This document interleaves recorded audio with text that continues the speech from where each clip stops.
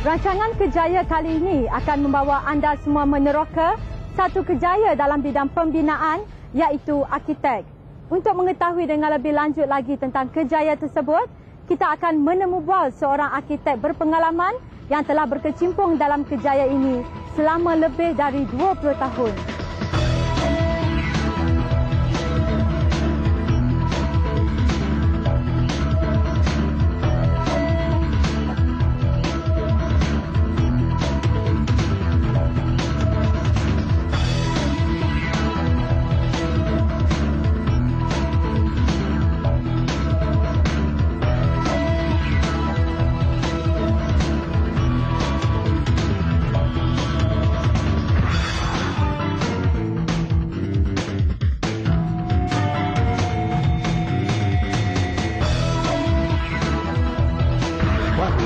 Can be broadly classified under four main stages of work. Uh, schematic design, design development, contract documentation, and contract implementation. Under schematic design, we start by working out a concept, a theme, and that theme will dictate every design decision that we make thereafter we will generate the, uh, the, the floor plan as well as the general form of the building. Um, we have to take into consideration our the user's requirement, and um, then we will work out the planning issues like density and so forth. Once we arrive at the plan as well as the general form, we will prepare the plans and we will submit it to the planning authorities in order to get approval uh, this is the schematic stage. Once we get the planning approval, then we can move on to the next stage, which is the design development stage. Here, we will look into the design of the building at uh, greater detail. Uh, we will study how the various elements are put together. We will work out the sizes, uh, door and window sizes. We will select the materials and finishes and we will also prepare the full set of building plans that will reflect how the building is going to look like at a more detailed level.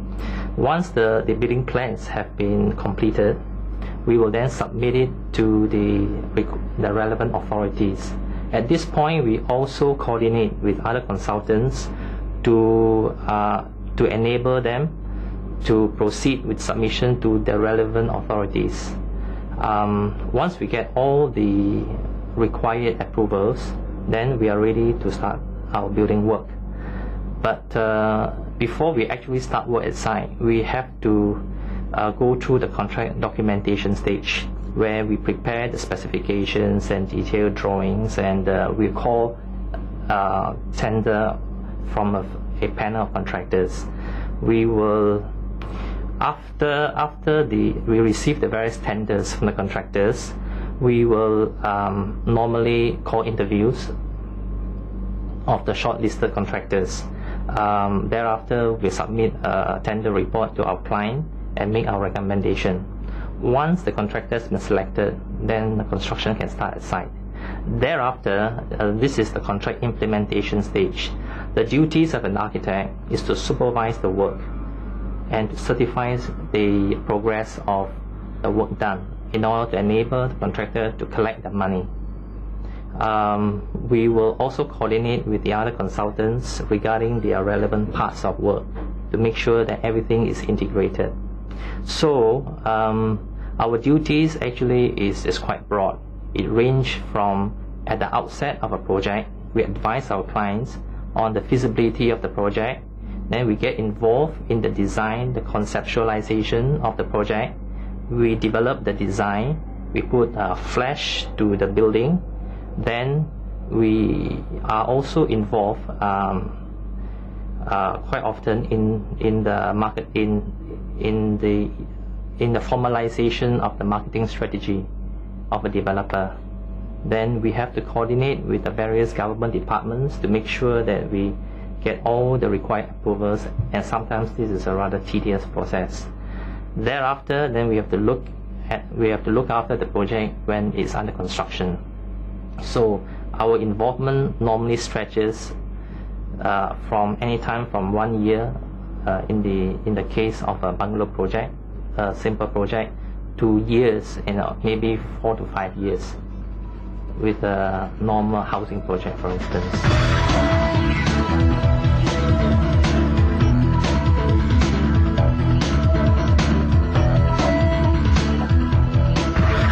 Say there's a lot of variety in what we do. Every project is a different project. It has its own character and uh, it is a new opportunity for us to implement our ideas and not just to experiment on paper but to actually see the building being built and uh, turned into a reality. Every client is also different. They have different personalities and the way we approach them is will have to be different. So we get to meet uh, clients from all walks of life. The, they might be lawyers or they might be um, uh, what you call a corporate person, and, um, and their needs are very different. So we have to learn how to understand them and to translate their needs, their requirements into three-dimensional form.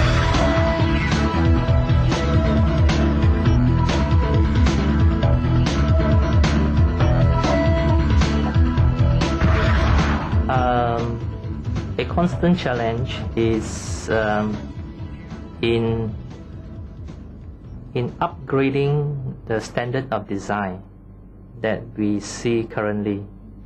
Every new project that I undertake, uh, I strive to uh, achieve a design standard which is higher than what you see in the surrounding in order that it can set a standard for others to follow. If um, also most clients will tell us that uh, they want us to design a good building for us, but their budget is limited. So we strive to create more with less. We try to achieve high quality design by using relatively economical materials. We also, another uh, challenge that I face constantly is to convince our clients in the value of our services. Most clients will tell us or they believe that they are overpaying us, but we always believe that we are being underpaid. So the challenge is to prove to them that whatever service that we provide them actually adds a lot of value to their project. And um, whatever fees that they pay us is actually more than compensated by the value added premium.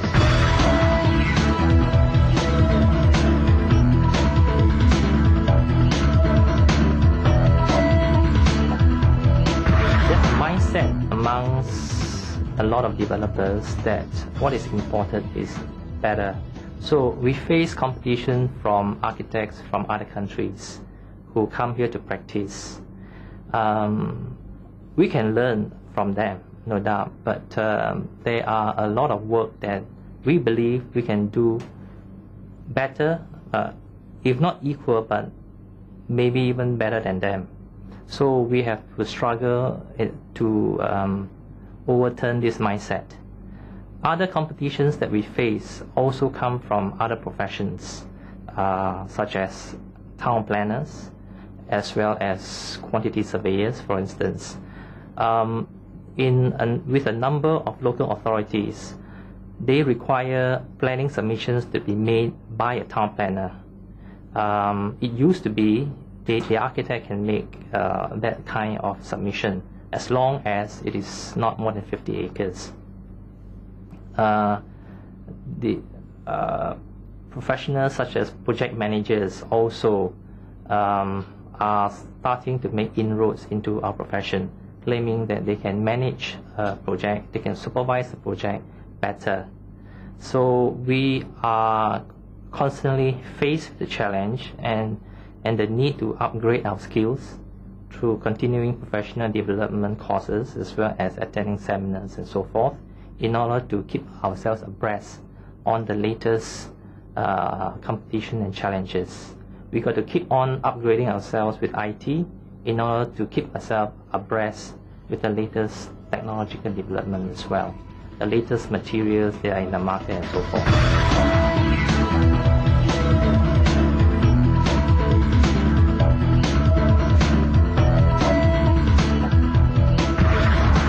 We believe that we have a strong social responsibility to enhance the quality of our environment.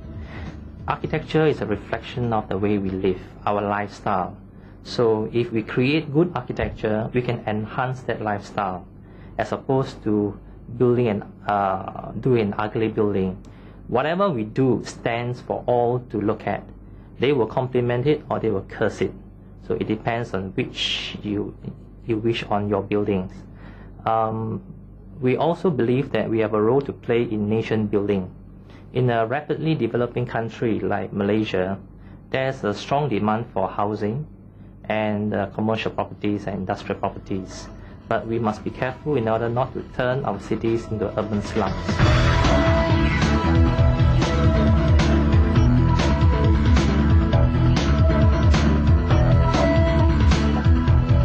Um, you will need to undergo there are two parts of the architectural training.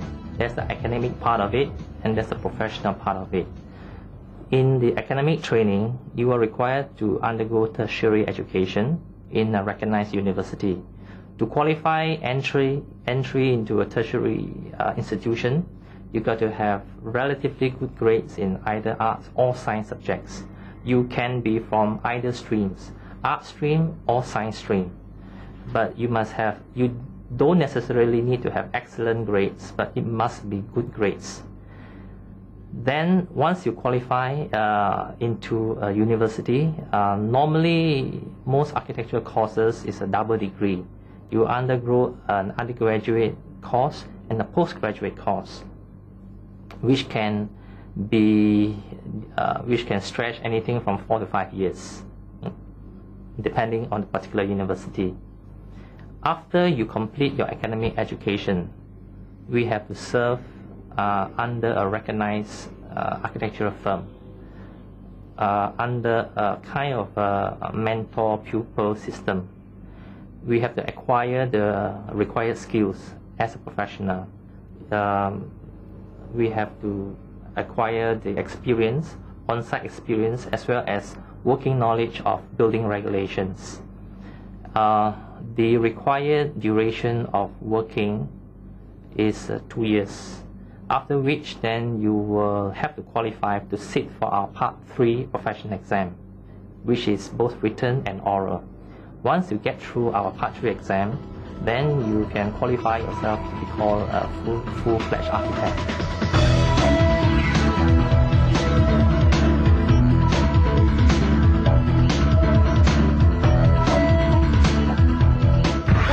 Kejaya kali ini akan memaparkan satu lagi kejaya dalam bidang pembinaan iaitu juru ukur bahan. Apakah sebenarnya kejaya sebagai juru ukur bahan? Saya akan bawa anda semua melihat kejaya ini dengan lebih dekat lagi.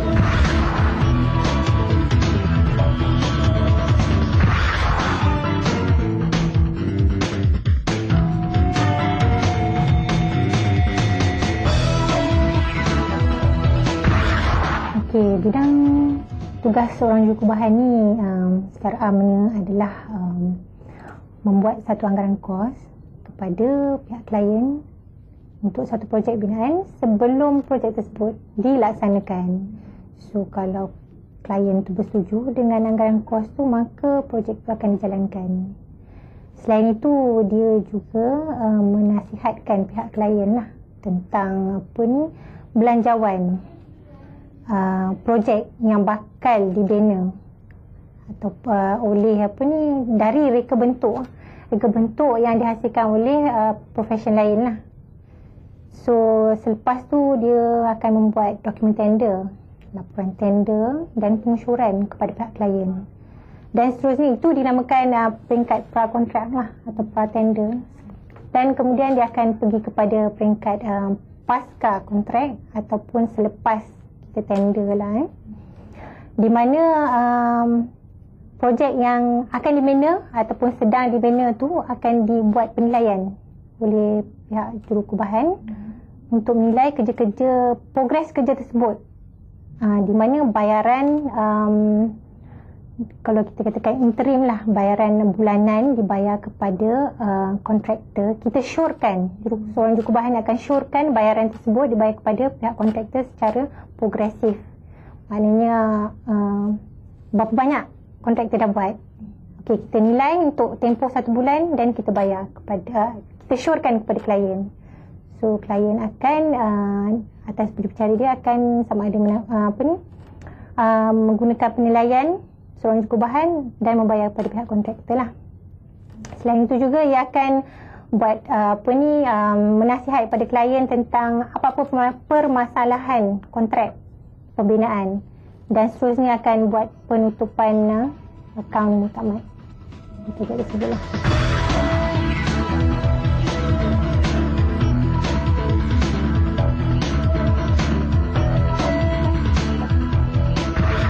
menarik okey dikatakan menarik um, boleh dikatakan satu profession di mana seorang yukubahan tu akan pelajari bukan mendalam lah aspek architecture dia akan tahu aspek uh, kejutan awam kejutan struktur dan juga kejutan mekanikal dan elektrikal uh, juga ada juga sikit input uh, untuk uh, apa ni um, land surveying.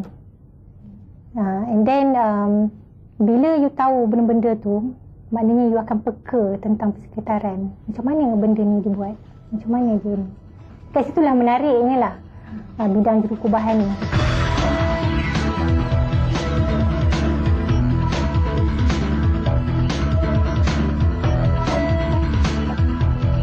Cabarannya I think biasa semua profession pun kita you kena apa ni um, menepati masa time limit yang diberi sometimes dia bagi you satu hari untuk buat laporan. Sometimes dia bagi pagi petang you nak. Dia is cabaran lah. One thing sometimes you kena dapat dalam masa yang constraint to get a very almost accurate information to provide to the client. Dan lagi satu is um, um, sometimes uh, cabaran yang uh, lain ialah uh, perspeksi profession lain terhadap jurukubahan ni lah. Macam because jurukubahan ni biasa di-create selepas profession lain arkitek, engineer dah groom mereka dah establish tau then only the QS come. So it's very difficult for them to accept QS ni punya input. But we try very hard to prove certain things lah okay, on QS profession, why? Why is the QS uh, required in that project, in the existence of uh, apa ni, guru kubahan ni?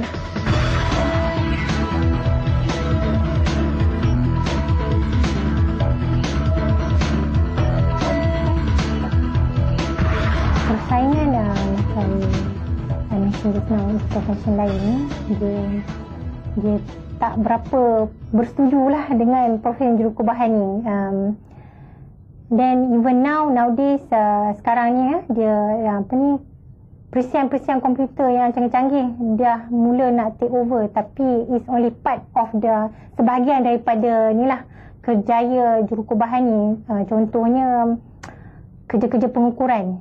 Pengukuran kerja ni okey perisian komputer sekarang uh, dia hampir boleh boleh mem, apa ni me, apa ni mengeluarkan kuantiti-kuantiti ya, pengukuran tu. Contohnya uh, arkitek punya software you can just um, you boleh ambil scan je. Scan daripada drawing dia dia orang boleh ambil area ke uh, to that extent lah. So um, dekat situ mungkin mungkin pengurangan lah pengurangan skop kerja jurukubahan ni mungkin uh, in future akan dikecilkan lah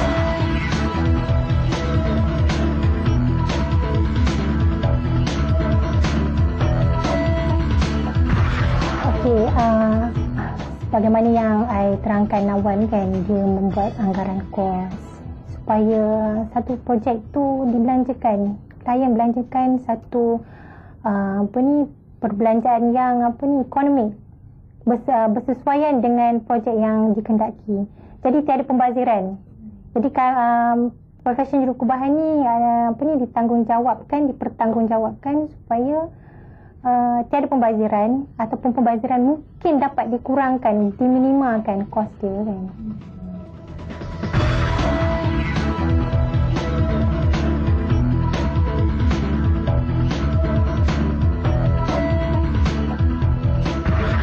Untuk menjadi seorang jurukubahan yang pertama lulus pelajaran Malaysia uh, dengan mendapat kredit dalam matematik dan bahasa Malaysia atau bahasa Inggeris. Uh, kemudian lulus ijazah sarjana muda kubahan daripada universiti yang diiktiraf oleh lembaga jurukubahan. Dan uh, seterusnya untuk mendapat menjadi seorang jurukubahan berdaftar, uh, seseorang um, lepasan ijazah jurukubahan uh, perlu membuat apa ni um, uh, menduduki beberapa peperiksaan untuk melayakkan dirinya uh, peperiksaan tersebut kena lulus lah keputusan dia kena lulus untuk melayakkan diri uh, di, di sebagai juru kubahan berdasar Semoga anda dapat mempelajari kejayaan sebagai seorang arkitek menerusi paparan sebentar tadi. Pastinya ia dapat membantu anda memilih bidang kejaya yang anda minati.